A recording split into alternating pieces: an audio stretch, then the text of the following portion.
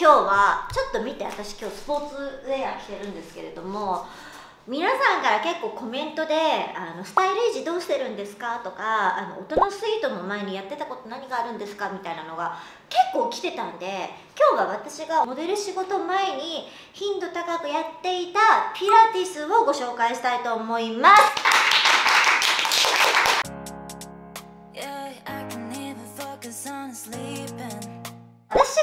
ピラティスもう2年ぐらい週に23通ってやってるので、まあ、それなりに慣れてはきていて私だけやると大変さとかちょっと分かりづらいかなと思って今日は初心者の皆さんをお呼びしております初心者の皆さんどうぞあ、いいですね。ぎこちなくていいですね、初心者は。すごいやる気満々もね正しい格好ですよ。やっぱすごいなんかひっくり返ったりそりくり返ったりってやるから、へそうなんですそれ繰り返る。そそれ繰り返る。ピラティスってなんか体を動かすだけじゃなくてすっごい脳みそも使うのよ。へなんかない？昔は動けてたのに動けなくなったみたいなもうこと毎日ですよ。あるでしょ、でその閉ざされた神経は開通されていくから。フィジカルにもすごいいいんだけど精神的にもすごくいいんだよね、私はそっちの効果に期待してますね。あそうだよね。ちょっと最近お疲れですからね。そうですね。やっぱりいつもピラティスではなくピラミスに頼ってるの。で。どうしてですか。どうし どうしましたまあちょっとバリエーションがねそうですね。あの40代男性、は20代男性。じゃあ年齢不詳ですけどね。あそうだ年齢不詳な男性。ででもねなんか今回誘ってないんだけど朝メイクしてたら気合い入れてきた人がいるの様子おかしい。視界にね。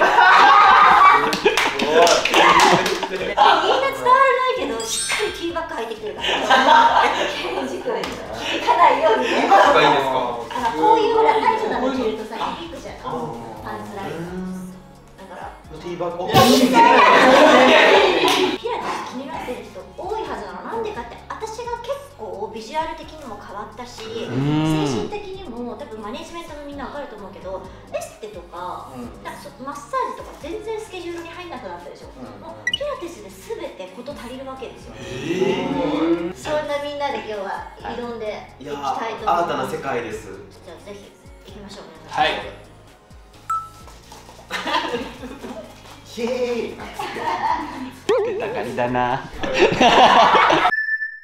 えー、と今日教えていただけるあの先生ご紹介いたしますピラティススタジオ11のタマ先生です。よろしくお願いします。ママ先生。よ私もイレブンでトレーナーさせてもらってるマオです。よろしくお願いします。よろろしくお願いします。タマ先生とマオ先生です。はいピラティスってやっぱフィジカルにも精神的にもどちらにもいいって私は感じてるんですけれども、なんかピラティスの本質はまさにそれで自分の状態を知った上でちょっとチャレンジを与えてそれを乗り越えていくみたいなのをご自身でどんどんどんどんやっていかれるので、そういった部分で自分の体プラス心の部分のあの挑戦だったり安定だったりをまさにこうピラティスの本質をキャッチされてるなっていう感じがあります。なんかだからさ皆さんちょっとそれぞれ悩みあると思うから今日は先生にそこのところを自分が分かってる範囲で一度お伝えしてここちょっと乗り越えるっていうのやってみませんか？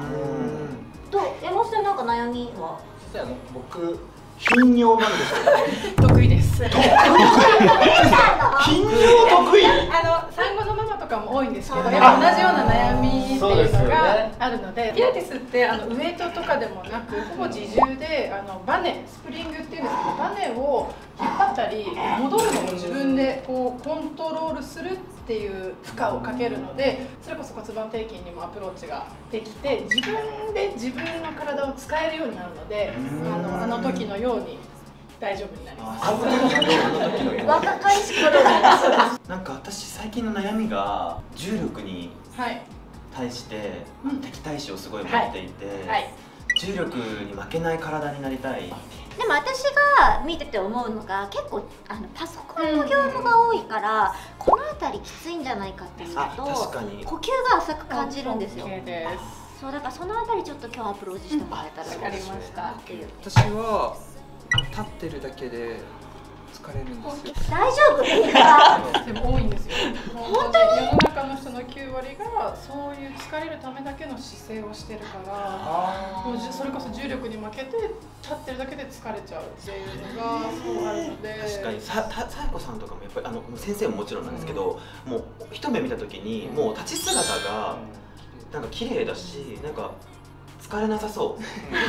私もピラティス始めて身長が2センチ伸びたえすごくね大ー、人に姿勢がなって綺麗になってってことなんですね。そうみたい。だから足がちょっとまっすぐになったりとか背骨がちゃんと立つようになったりとかっていうちょっとした積み重ねで2センチも伸びたから、嘘じゃなかった。嘘 なんで嘘つくの？嘘ついてると思って結構一気に伸びましたよね、そう。じゃあ早速、はい。じゃやってみましょうあかちょっとウォーミングアップもしたいので先にあのピラティスの大事な腹圧お腹の力をちょっとやっていきます。でさっき言ったようにその疲れやすい姿勢っていうのがこういう姿勢なんですよ。ねお腹が緩んで首が前に出てるともう重力が全部ドーンってきてドーンってなるじゃないですか。それをお腹を正すとキュッとまっすぐになるきっかけができるしトレーニングするにあたってすごく腹圧大事なのでちょっとやってみてよければチャレンジしていってみますかね。はいすごいお腹にここにインパクトを与えていくのプラス背骨が今丸い状態ですよね。この状態から一度上がってみましょう。そう。軽く上がってでポイントです。お腹に力を入れながらゆっくり下ろしていきます。息は吐きますね。そうナイスです。ここも丸くするようなイメージ。私ちょっと意地悪します。肩があまり前に出ないようにお腹だけで上げてってください。吐きながらです。首もう一個上げて。そうそこでいきましょう。ナイスです。丸くして背骨の柔らかさを出しつつ腹筋かなり使ってます。ここ引き込みながら下ろしていきましょう。ゆっくりです。こっちも使って。ナイス。丸く。丸く。はい OK です。歩いていきますね。ハテナが1、2、じゃあ胸を上に引き上げるよう3。に。胸、あ、こっちですよ柔らかいです、ね、上手上手。で骨盤をこう丸める後傾と言いますね。頑張るのはお腹です。お腹はい。はいお腹で上がってってみてください。はい。はい。あナイスです。そう上げてくる上げてくる。上で止めれます。か息吐きますねそれをさっきのさやこさんでいうと肩をここでタップしてえ？ここを上に引き上げてここも上に引き上げて一緒にやってみます。大丈夫です。上まで行きましょう。もう1センチ。止めますね。ここ引き上げたままゆっくり下ろしていって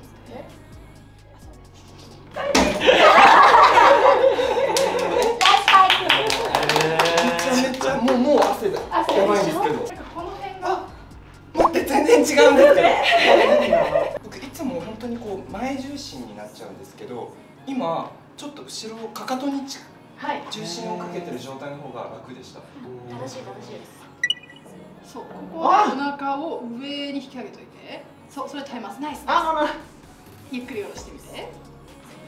難しい！でもすごいですね。中級なんで次じゃ初級です初級？あのちょっと貧貧乳？貧乳。はい貧乳？下の台がこうやって動くマシンにこう回っています。そしてさっきのこの下腹部の腹圧まっすぐ立てて首もまっすぐここ使っておきますね。吸いながら両足開いていきます。下の台を開いていき止めて。吐きながら引き上げます。上にナイスです。吸いながら。そうここ使って止めて骨盤底筋から上に引き上げて目線もう一個上げましょうそう吸ってオープンお尻の方も力入れて上げていきます。ね。伝えきれないこの中の筋肉が今じわじわきてます。はい。じゃやってみますかあ、はい。はいこちら側から登るの気をつけてね大木さんこの台先生。先生もうあの人に言えないところにすごいインパクトが。先生。で姿勢はいい状態キープしてもらって、先生、これ。折れた。寄せを寄せを寄せをくるぶしくるぶしあそうですそうですそうですナイスそうそうこれまず呼吸だけにしましょうあナイス息を吐くたびにそこが閉じていくっていう感覚です。あでも先生なんかちょっと感覚が分かりました。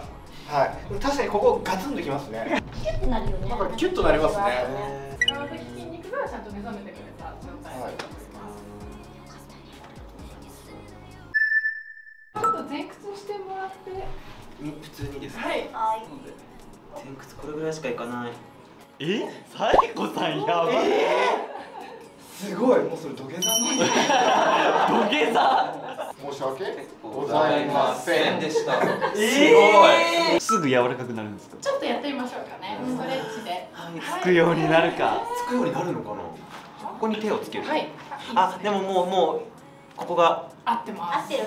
吐きながら押していきましょう。柔らかいですね。いいですいいです。もっと前までいけるで吸い戻して。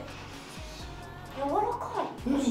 柔らかいですね。はい。これ反対の足もはい。いってみてくだあさないんかでも気持ちいいですこれは。うーん。軽くなります軽くなりますね。あこっちも全然もう硬そうですねこっちの方が簡単ないねこっちの方が。こっちがもう全然いかない無理ない範囲で気持ちいいぐらいでふーって息を吐いてってください。あーナイスです。で吸い戻して。吐きながら押していきますここ踏み込める？そうです。はい起き上がってきてください。こっちがすごいしんどかったです。けどもう今の動きだけでじわーって汗がもう変わらなかったらもう一回やりましょう。一個？あれ？えー、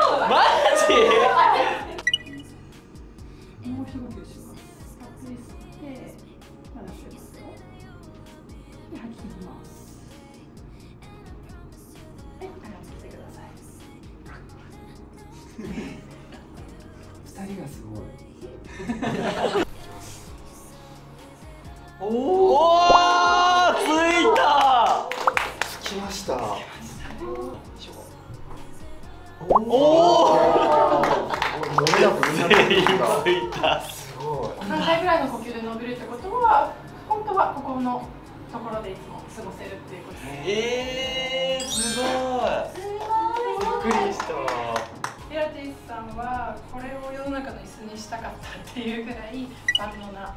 えー、ピラティスってピラティスさんが作ったんですそうなんです。女性ピラティスさんが。女性ピラティスさん。上級編ですよね次。そうですね。まずは片足ここに引っ掛けて指でこう引っ掛けておきます。腕を伸ばしたらお尻を下げますねで小指でこう脇を引き上げていくようなイメージをします。左足もください。はい。まず V 作ります。吐きながら骨盤から上げていき頭まで床と平行を作ります。息吸って。吐きながら吸っていきます。そう足で下に押してあゆっくりとまっすぐに戻ってから切ってお尻を落としていきます。もう一回いきましょうか。吐きながら骨盤からいって止めますそう首いったら胸でいく足で押して足で押してそうです。でまっすぐに戻ってから骨盤を落としていきます。ゆっくり外していきましょう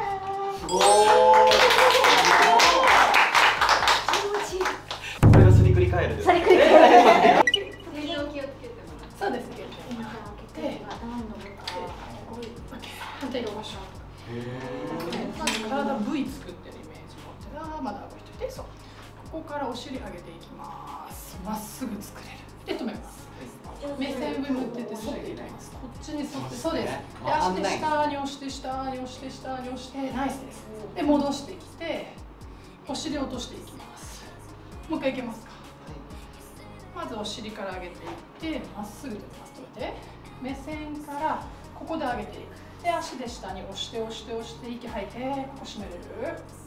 そうもう一個それそう。それです。でゆっくり戻していってお尻を下ろしていきましょできて全然わかんない。あでも上手上手本当ですかきれい。きれいスリクリ返るとしたら飛べるのかなこのままいけばいけると思う。俺もなんかさえちゃんみたいに屁をかきたい ますお尻からもう取り替えるお尻はいます。まずここで止めて目線からいって胸を反っててください足でこれ押してそうなんか力入れてナイスで。まっすぐに戻りますここ止めてでお尻落としましょう。もう一回いきますね。顎引いて。ここから上がっていき。こっちから。こっちからそうです。そうです止めて。首いったら胸反っていきます。そうここです。こんな感じから入れて足を押す。足を押す。ゆっくりまっすぐに戻っていき止めてお尻下ろしましょう。顎引いて外していきます。気持ちいい、えー。あでもさゆちゃんが言ってたようにこの戻ってくる時の頭のす血管がこう血がそう巡る感じ。そう血が巡って感じはすごいいいですわ。おそう。止めます。お尻から上げてそこまで魚の骨。っていうかなんかもう まっに行ってここ反っていく顎引いてえー、えーめっちゃ反る。はい。戻してい。きでお尻下ろしますねうまく腹筋使ってい。きます下腹部締めてあげてまっすぐ取ります止めて息吐きながら反っててください。ここ締めながら締めながら締めて締めてそうですそうですでゆっくり戻してお尻下ろしましょうお見事ですね。外します気持ちいいよね。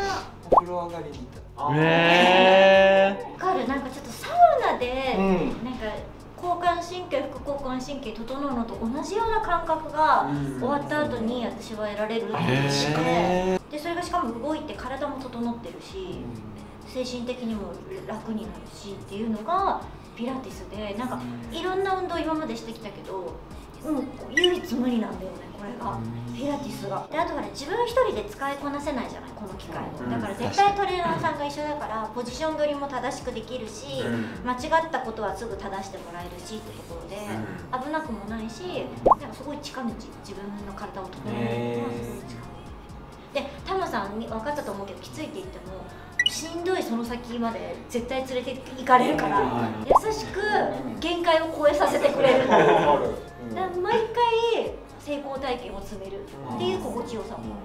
だってナイスですね。欲しくなったもん、嬉しい。あんまり言われない。先生のナイスですね。お待ちしてたよね。さっき私がへーって思ったのがピラティスってその筋トレもしつつ逆のところではストレッチをしている。伸ばしてる状態で圧をかけるので常に伸びてるんですよね。なのでこう丸まって力をこうグッグッて入れてるんじゃなくて伸ばしながら鍛えてるのでその気分的な変化もありますし細くしなやかな筋肉ができていくっていうのはそこに理由があります。なんか眠ってた期間と期間がなんかカチャッとはまる感じつながる感じがしますよね。ナイスですか？めっちゃ嬉しそう最後に、あのタマ先生のヘも見てもいいですか？タマ先生。のペはインスタグラムでしか見たことあない。じゃあ。リアルペは見たことない。生っぺをじゃあ。タマ先生硬いんですか？硬いです硬いです。え？硬くても別にいいいいんですよ今の体の120点になれば。うーん確かに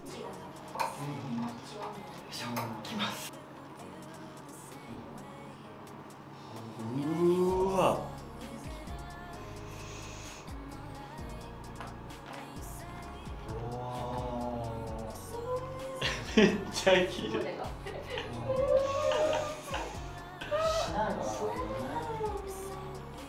こんな感じです。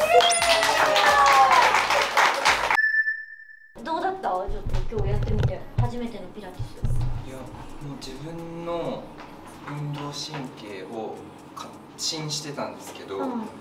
使えてないところが多すぎてびっくりしました、そうですね体のね正しい使い方をちゃんとレクチャーしてくださるからそれがありがたいよね、うん。うんうん体を動かすイコールその脳もちゃんと指令を出すっていうところで日々のその物忘れとか整理整頓する能力とかもなんか上がりそうだなって感じましたあ鼻が通った。ありますよ。あります、はい花粉症の時は。